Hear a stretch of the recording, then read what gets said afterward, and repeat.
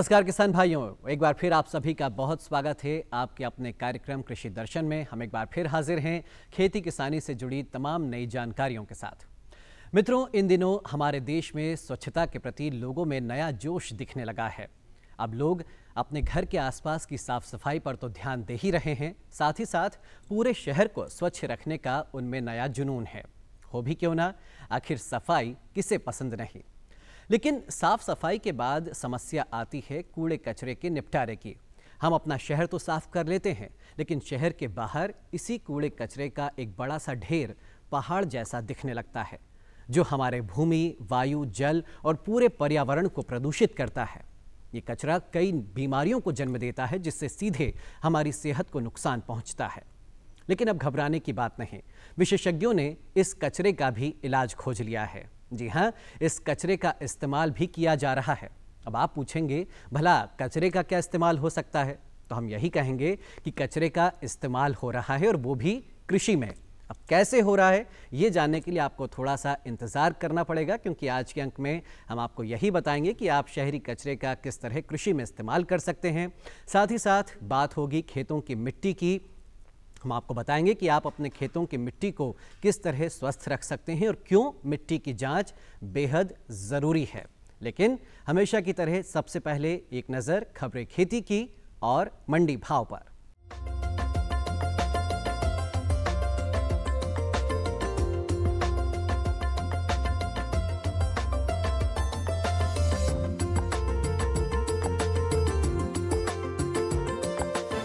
नमस्कार किसान भाइयों, खबरें खेती में आपका स्वागत है। आई नज़र डालते हैं आज की खास खबरों पर। कृषि विकास दर चार फ़ीसदी का अनुमान, गेहूँ उपार्जन की संभाग स्तरीय समीक्षा, जायद में मूंग की उन्नत खेती, गन्ने को पेड़ी बोनापन रोग से बचाएँ और गर्मियों में दुधारू पशुओं का प्रबंधन। केंद्रीय कृषि एवं किसान कल्याण मंत्री राधा मोहन सिंह ने कहा है कि भारतीय कृषि अनुसंधान परिषद ने मुश्किल चुनौतियों के बावजूद सत्यासी साल के अपने, अब तक के कार्यकाल में अनेक सफलताएँ हासिल की हैं, जिन्हें कृषि की प्रगति में मील का पत्थर कहा जाता है। श्री सिंह ने यह बात नई दिल्ली में आयोजित भारतीय कृषि अनुसंधान परिषद सोसाइटी की अट्ठाईसवीं वार्षिक आम बैठक में कही। श्री सिंह ने कहा है कि सरकार पाँच सालों में किसानों की आमदनी दोगुनी करने के लिए प्रतिबद्ध है। इस बार के बजट में कृषि के समग्र विकास पर फोकस किया गया है, जिसमें किसानों को वहन करने योग्य कर्ज उपलब्ध कराने, बीजों और उर्वरकों की सुनिश्चित आपूर्ति, सिंचाई सुविधाएँ बढ़ाने, मृदा स्वास्थ्य कार्ड के माध्यम से उत्पादकता में सुधार लाने ई मंडी के माध्यम से एक सुनिश्चित बाज़ार और लाभकारी मूल्य दिलाने पर ज़ोर दिया गया है। प्रदेश में चालू वर्ष में गेहूँ उपार्जन की तैयारियों की समीक्षा संभाग स्तर पर की जाएगी। इसके लिए तिथियाँ तय कर ली गई हैं। समीक्षा बैठक में किसान, पंजीयन, किसानों के सत्यापन की स्थिति, गेहूँ की तहसीलवार उत्पादकता, खरीदी केंद्रों पर आवश्यक व्यवस्थाओं पर मुख्य रूप से चर्चा की जाएगी। इसके अलावा गेहूँ के भंडारण, खरीदी केंद्र एवं गोदामों के मैपिंग की समीक्षा की होगी। खरीदी के दौरान परिवहन की व्यवस्था एवं साग सीमा स्वीकृति की स्थिति पर विशेष चर्चा की जाएगी। जायद में अधिकतम उत्पादन हेतु पंत मूंग दो, नरेंद्र मूंग एक मालवी जागृति, सम्राट मूंग, जनप्रिया नेहा मालवी ज्योति प्रजातियाँ उपयुक्त पाई गई हैं। 10 मार्च से 10 अप्रैल तक हल के पीछे कुंडों में बुआई करना उत्तम पाया गया है। कुंड से कुंड की दूरी 25 से 30 सेंटीमीटर रखनी चाहिए। बीज की बुआई कुंड में 4 से 5 सेंटीमीटर गहराई में करनी चाहिए। जायद की फ़सल में बुआई के पश्चात हल्का पाटा लगाना अति आवश्यक है, जिससे कि नमी न उड़ सके। जायद में 15 से 18 किलोग्राम बीज प्रति हेक्टेयर प्रयोग करना चाहिए। इसका बीज शोधन ढाई ग्राम थीरम अथवा एक ग्राम कार्बेडाइजम, प्रति किलो बीज शोधित करने के बाद मूंग को राइजोबियम कल्चर के एक पैकेट से 10 किलोग्राम बीज का उपचार करना चाहिए। गन्ने में पेड़ी का बोनापन रोग जीवाणु जनित गन्ने की बीमारी है। इस रोग का प्रकोप कहीं कहीं पेड़ी की फ़सल पर दिखाई देता है। यह रोग गन्ना उत्पादन में उपज के रूप में अधिक आर्थिक क्षति पहुंचाता है। यह रोग क्लेविवेक्टर जाइलो नामक जीवाणु से होता है। रोग से प्रभावित पौधा कमज़ोर व छोटा रह जाता है। पत्तियाँ सामान्यतः पीली तथा गन्ने में पौरों की लंबाई कम हो जाती है। गन्ने को फाड़कर देखने पर गठान के ऊतक नारंगी, लाल या पीला नारंगी या भूरे रंग का प्रतीत होता है। इसकी रोकथाम के लिए गन्ने की कटाई करते समय स्वच्छ, साफ़, धारदार चाकू का प्रयोग करें तथा रोगग्रस्त पौधों का उपयोग बीज हेतु ना करें। फ़सल में पोषक तत्वों व पानी की कमी ना होने दें, पेड़ी की फ़सल नहीं लेना चाहिए। दुधारू पशुओं के ग्रीष्म ऋतु में देखरेख तथा आवास अति आवश्यक है। आवास साफ़ सुथरी व हवादार होना चाहिए, जिसका फर्श पक्का व फिसलन रहित हो तथा मूत्र व पानी की निकासी हेतु ढलान हो। पशुगृह की छत ऊष्मा की कुचालक हो, ताकि गर्मियों में अत्यधिक गर्म ना हो। इसके लिए एस्टबेस्टस सीट उपयोग में लाई जा सकती है। अधिक गर्मी के दिनों में छत पर चार से पाँच इंच मोटी घास फूस की परत या छप्पर डाल देना चाहिए। यह परत ऊष्मा अवशोषक का कार्य करती है, जिसके कारण पशुशाला के अंदर का तापमान उचित बना रहता है। पशुशाला की छत की ऊंचाई से कम से कम 10 फुट ऊँची होनी चाहिए, ताकि हवा का समुचित संचार पशुगृह में हो सके, तथा छत की तपन से भी पशु बच सके। पशुशाला में खिड़कियाँ व दरवाजों पर अन्य खुली जगहों पर, जहाँ से तेज गर्म हवा आती हो, बोरी या टाट आदि टांग कर पानी का छिड़काव कर देना चाहिए। पशुशाला में पशुओं की संख्या अत्यधिक नहीं होना चाहिए। प्रत्येक पशु को उसकी आवश्यकता अनुसार पर्याप्त स्थान उपलब्ध कराएँ। तो किसान भाइयों, आप देखिए मंडी भाव और मुझे दीजिए आज्ञा। नमस्कार।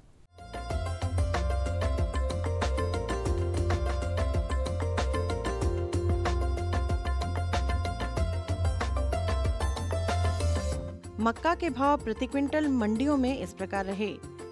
बीकन गाँव में न्यूनतम एक हज़ार सोलह रूपए प्रति क्विंटल, अधिकतम एक हज़ार तीन सौ बारह रूपए। बिछिया में न्यूनतम एक हज़ार तीन सौ पैंसठ रूपए, अधिकतम भाव भी एक हज़ार तीन सौ पैंसठ रूपए रहा। नीमच में न्यूनतम एक हज़ार तीन सौ बीस रूपए, अधिकतम एक हज़ार छह सौ बीस रूपए। खरगोन में न्यूनतम एक हज़ार चालीस रूपए, अधिकतम एक हज़ार तीन सौ बयालीस रूपए रहा। गेहूँ के भाव प्रति क्विंटल मंडियों में इस प्रकार रहे। आगर में न्यूनतम एक हज़ार चार सौ पचास अधिकतम एक हज़ार आठ सौ बड़नगर में न्यूनतम एक हज़ार चार सौ पचास अधिकतम एक हज़ार सात सौ चवालीस रूपए। निवाड़ी में न्यूनतम एक हज़ार तीन सौ पैंसठ अधिकतम एक हज़ार पाँच सौ पचास सेधवा में न्यूनतम एक हज़ार पाँच सौ एक अधिकतम एक हज़ार पाँच सौ इकसठ रहा। सरसों के भाव प्रति क्विंटल मंडियों में इस प्रकार रहे। सुजालपुर में न्यूनतम दो हज़ार पाँच सौ एक रूपए, अधिकतम तीन हज़ार एक सौ बीस रूपए। श्योपुर कला में न्यूनतम तीन हज़ार रूपए, अधिकतम तीन हज़ार चार सौ सत्तावन रूपए। डिंडोरी में न्यूनतम तीन हज़ार तीन सौ पचास रूपए, अधिकतम तीन हज़ार चार सौ रूपए। अजयगढ़ में न्यूनतम तीन हज़ार तीन सौ पचास रूपए, अधिकतम तीन हज़ार तीन सौ पचपन रूपए रहा।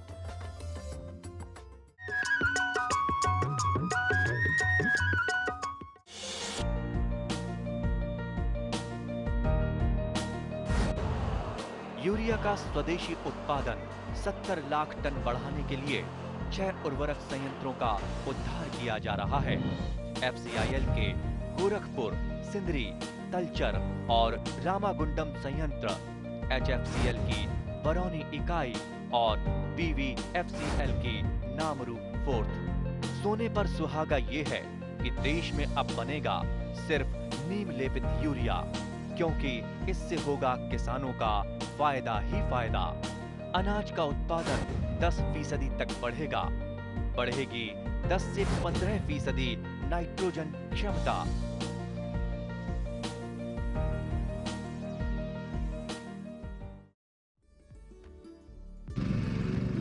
नई तकनीक सभी को अच्छी लगती है। मैंने भी अपने खेत की तैयारी, बुआई, जुताई गहाई वगैरह के लिए छोटी मशीनें अपनी ज़रूरत के हिसाब से खरीदी। मैंने अपने खेतों में मशीन का प्रयोग किया तो काम जल्दी और आसान हो गया। खेती में मशीनों के इस्तेमाल के बाद मुझे मिली भरपूर पैदावार और ज़्यादा मुनाफा। छोटी मशीनें तो हमारी अपनी अपनी हैं, लेकिन बड़ी मशीनें हमने समूह बनाकर खरीदी। किसान भाइयों और बहनों आप भी उन्नत मशीनों और उपकरणों की खरीद पर वित्तीय सहायता का लाभ उठाएँ, अपनी आमदनी बढ़ाएँ और खुशहाली पाएँ।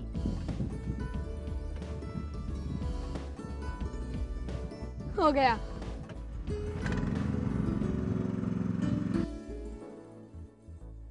मैंने सोच लिया है मैं तुझे कृषि का इंजीनियर ही बनाऊँगा। नई मशीनें नए उपकरण आए आपके द्वार। ले लो इनसे अब खूब खुशी और पैदावार। तो किसान भाइयों अब बात सिटी कंपोस्ट की। जो शहरी कचरा हमारे लिए और हमारे पूरे पर्यावरण के लिए एक बेहद बड़ा खतरा बन चुका था उसका इलाज अब विशेषज्ञों ने खोज लिया है। जी हाँ इस शहरी कचरे से बनाई जा रही है खाद। और ये खाद आपको कृषि में सस्ती तो पड़ेगी ही, इससे आपकी फ़सल की गुणवत्ता और उत्पादन पर भी कोई असर नहीं पड़ेगा। तो आप भी देखिए कैसे हो रहा है इस शहरी कचरे का कृषि में इस्तेमाल। इस बारे में जानकारी दे रहे हैं डॉक्टर जे के साहा, जो कि प्रधान वैज्ञानिक हैं सी आई ए ई नवीबाग भोपाल में। औसतन प्रति व्यक्ति 500 ग्राम आधा किलो करीब कचरा उत्पन्न करता है। इस तरह से अब देखा जाए तो पूरे भारतवर्ष में करीब करीब 70 मिलियन टन प्रतिवर्ष कचरा हम पैदा कर रहे हैं। अब इतनी विशाल मात्रा में जो कचरा उत्पादन हो रही है, वो एक सभी के लिए एक बहुत बड़ा सरदर्द बना हुआ है। उसको कैसे प्रबंधन करें, कैसे उसका निपटारा करें, ये एक बहुत बड़ी समस्या है। तो इसके बारे में मैं थोड़ा सा विस्तार में चर्चा करूँगा। ये कचरा जो है एक आ, हम लोग इसमें इस कचरे को हम लोग कहाँ डालते हैं? वर्तमान में क्या है ज़्यादातर ये कचरा डंपिंग एरिया वहाँ पर हम डंप करते हैं। बहुत ही कुछ क्षेत्र है जहाँ पर उसको वैज्ञानिक तरीके से उसका निपटारा कर किया जाता है। वर्तमान में क्या है, हर से, घर से कचरा हम निकलता है या होटल, रास्ते से जो भी कूड़ा कचरा निकलता है, उसको हम सीधा वाहन से, वाहन के द्वारा ले जाते हैं डंपिंग ग्राउंड में, जहाँ पर इसको डंप करते हैं। और इसके वजह से आप जानते हैं कि बहुत मात्रा में प्रदूषण फैल रहा है। वायु प्रदूषण है, जल की प्रदूषण है और मिट्टी की प्रदूषण भी है। इसमें इस कचरे के ग्राउंड से हम से ग्रीन हाउस गैस एमिशन, एक खतरनाक मिथेन गैस जो बोलते हैं उसको, जिसके कारण वायु प्रदूषण हो रही है। और इसके वजह से ग्लोबल वार्मिंग होती है, क्लाइमेट चेंज हो रही है और कृषि सबसे बड़ा कृषि में ये इसका प्रभाव पड़ रहा है। तो इसको क्या है कि इस कचरा का अगर सही तरीके से निपटारा किया जाए तो ये परिवेश के लिए भी फ़ायदेमंद होगा और कृषि के लिए भी फ़ायदेमंद होगा।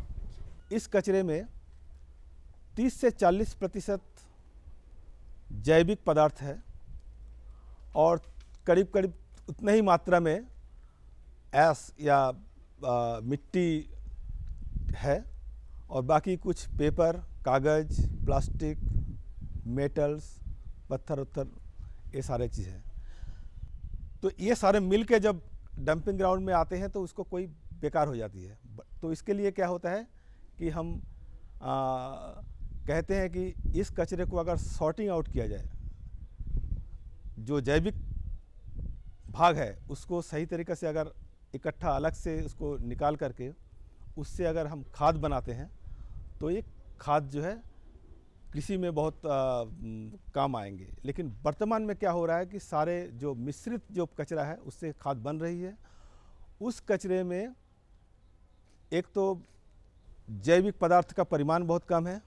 कृषि को खेत में बहुत ज़्यादा फ़ायदा नहीं होता है। और दूसरा इसमें खतरनाक कुछ तत्व होते हैं प्रदूषक तत्व जैसे मेट हेवी मेटल्स होते हैं। अब जानते हैं हेवी मेटल्स जो है उसको शरीर में अगर चला गया तो कई तरह की बीमारियाँ पैदा करती है।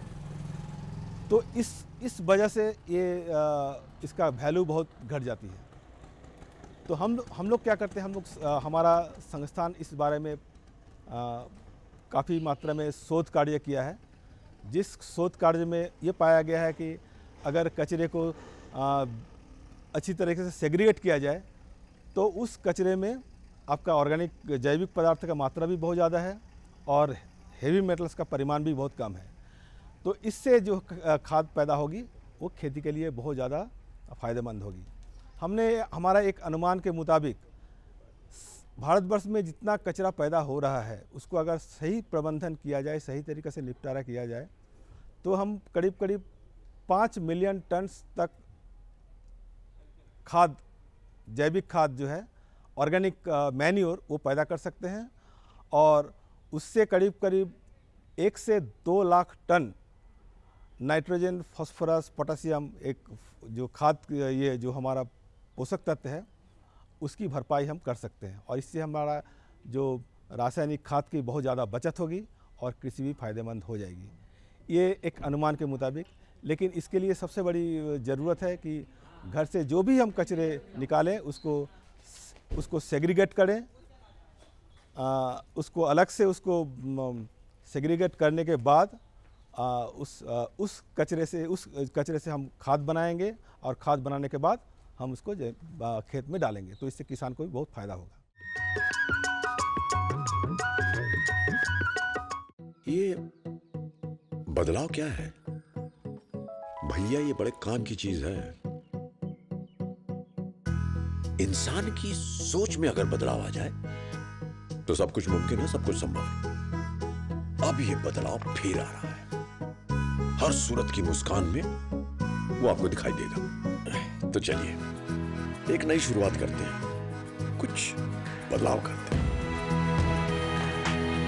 दूरदर्शन किसान, एक नया चैनल, जहाँ बातें होंगी बदलाव की और आपके कल की बेहतर शुरुआत की। छेड़ो बातें बदलाव की। बात गाँव की, बात किसान की, जानकारी नई तकनीक की। मुलाकात सफल व्यक्तियों से। साथ में मनोरंजन और भी बहुत कुछ। ये सब मिलेगा आपके अपने कार्यक्रम गाँव इंडिया में। तो देखना ना भूलें, सोमवार और मंगलवार सुबह साढ़े सात बजे। डीडी किसान, बदलते भारत की शान।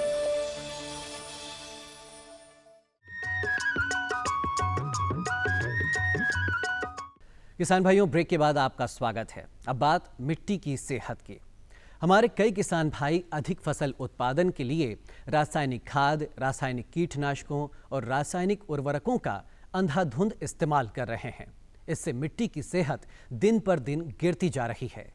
कई जगह मिट्टी की जाँच करने पर पता चला है कि इसमें से जीवांश कार्बन, पोटाश और फास्फोरस जैसे जो अहम पोषक तत्व हैं, वो खत्म होने की कगार पर आ चुके हैं। और इन अहम तत्वों का खत्म होना, यानी सीधे आपके फ़सल के उत्पादन पर इसका दुष्प्रभाव, यानी कि आपका नुकसान। बावजूद इसके, हम मिट्टी के परीक्षण की महत्ता को नहीं समझ पा रहे हैं। ऐसे में किसान भाइयों, बेहद ज़रूरी हो जाता है कि हम मिट्टी की जाँच को लेकर सतर्क हो जाएँ, क्योंकि इसकी जाँच से न सिर्फ़ हम फ़सल उत्पादन बढ़ा सकते हैं, बल्कि हम खेतों की उर्वरा शक्ति को भी दोगुना कर सकते हैं। तो किस तरह मृदा परीक्षक के द्वारा होता है मिट्टी परीक्षण? आप कहाँ किस तरह मिट्टी की जाँच करवा सकते हैं? और इसके और क्या क्या फ़ायदे हैं? इस बारे में जानकारी दे रहे हैं डॉक्टर संजय श्रीवास्तव जी, जो कि प्रधान वैज्ञानिक हैं सी आई ए वी नवी बाग, भोपाल में। जैसे स्वास्थ्य तो हम सभी लोगों का होता है, मनुष्यों का स्वास्थ्य होता है, जानवरों, पशुओं का स्वास्थ्य उसी तरह मृदा का भी एक स्वास्थ्य होता है। मृदा के स्वास्थ्य से हमारा मतलब है कि मृदा के अंदर सभी जो आवश्यक पोषक तत्व हैं, वो सही मात्रा तथा सही अनुपात में उपलब्ध हों। मृत्यु मिट्टी के अंदर एक अच्छा एयरेशन बना रहे, उसका जो वाटर उसका, उसमें जो पानी की मात्रा है, वो पर्याप्त हो। उसके अंदर जो जीव जंतु जो अपना कार्य कर रहे हैं, वो अपना कार्य अच्छे तरीके से करते रहें। तो एक मिट्टी में एक तरीके का पूरी तरीके से संतुलन जहाँ जब स्थापित होता है तो वो मिट्टी एक अच्छी मिट्टी मानी जाती है स्वस्थ मिट्टी मानी जाती है और उस मिट्टी में किसान भाई अपनी अधिक पैदा, पैदावार भी ले सकते हैं। हमारे संस्थान ने पिछले कुछ वर्षों में एक लघु प्रयोगशाला का विकास किया है। इस लघु प्रयोगशाला से मिट्टी में उपलब्ध जो पोषक तत्व हैं उन पोषक तत्वों की जाँच की जा सकती है। अगर मैं आपको दिखाऊँ तो इस प्रयोगशाला में एक हमने हीटर दिया हुआ है, हॉट प्लेट दिया हुआ है, एक हमारा ये मृदा परीक्षक जिसको हम स्मार्ट सॉयल प्रो बोलते हैं, जिसमें कि सभी एनालिसिस होती है, एक हमने ये शेकर दिया हुआ है क्योंकि हमें एनालिसिस करते वक्त अप सॉल्यूशन में जो उपलब्ध मात्रा है हमारे न्यूट्रिएंट्स की वो लेनी होती है, तथा इसके साथ कुछ सीव्स दी हुई हैं, एक हमने एक छोटा सा वेइंग बैलेंस भी दिया हुआ है। तो ये पूरा का पूरा, इसके अलावा बहुत सारे केमिकल्स ग्लासवेयर्स इस प्रयोगशाला में दिए जाते हैं।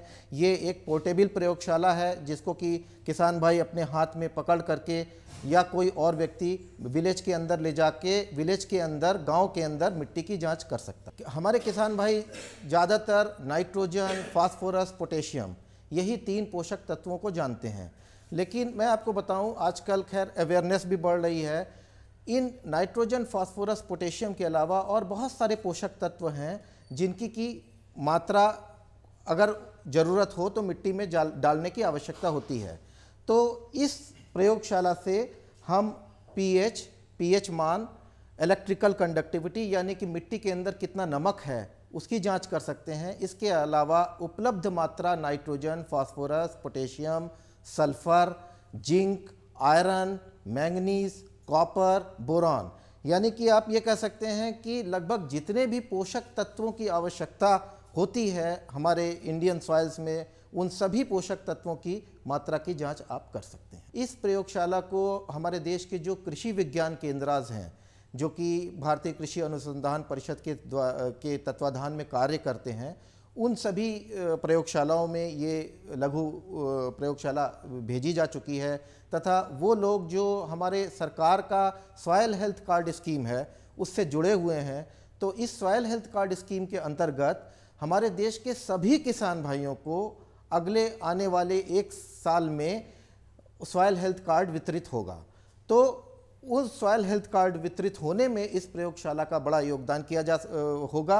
तथा दूसरी चीज़ मैं ये भी कहूँगा, चूँकि ये प्रयोगशाला एक छोटी प्रयोगशाला है तो किसान भाई अपना ग्रुप बना करके या पंचायत लेवल पे इस प्रयोगशाला को प्रोक्योर कर सकते हैं। इसमें एक या दो दिन की ट्रेनिंग की आवश्यकता होती है, जो कि हमारे संस्थान में भी दी जा सकती है और किसान भाई स्वयं इस प्रयोगशाला को प्रयोग कर सकते हैं अपने मिट्टी की जाँच करने के लिए। मैं ये कहूँगा कि इसमें थोड़ा सा जो ट्वेल्थ क्लास पास हमारे जो यंग युवा हैं वो लोग इसमें पढ़ाई कर सकते हैं, तथा इसको सीख सकते हैं, तथा ये एक अपने जीविका का माध्यम भी बन सकती है। मिट्टी की स्वास्थ्य का जो जाँच करना है और मिट्टी के स्वास्थ्य या उसकी उर्वरता शक्ति के आधार पे हमें फर्टिलाइज़र डालना है, इसकी अवेयरनेस हमारे देश में धीरे धीरे बढ़ रही है। और हमारे सरकार ने भी जो सॉयल हेल्थ कार्ड स्कीम 2015 में जो शुरू की है, उससे भी काफ़ी किसान भाइयों को इसका लाभ हो रहा है। इस प्रयोगशाला के द्वारा आपको बोरॉन, जिंक, सल्फ़र, आयरन इत्यादि की मात्रा की जानकारी जब पता चलती है और अगर कमी है तो किसान भाई बाज़ार में आजकल माइक्रो न्यूट्रिन फर्टिलाइज़र्स भी उपलब्ध हैं। उनको खरीद करके उसकी इस्तेमाल कर सकते हैं।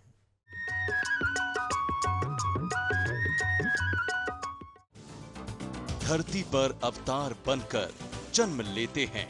कुछ ऐसे जाबाज ये जज्बे और जुनून से खुद लिखते हैं अपनी तकदीर। ऐसे किसानों की गौरव गाथा।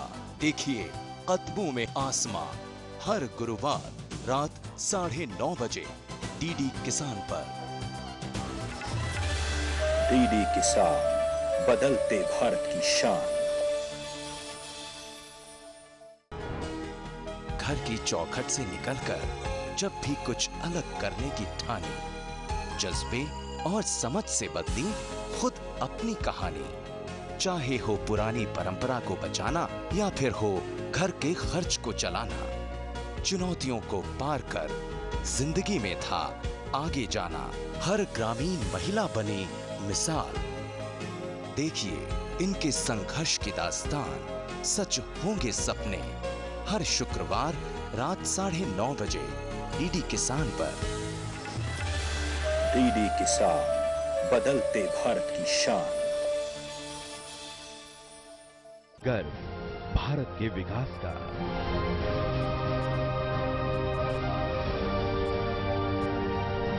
गौरव प्रगति के विश्वास का।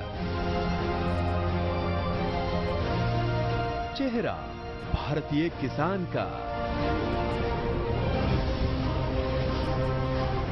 परचम भारत की शान का। डीडी किसान बदलते भारत की शान।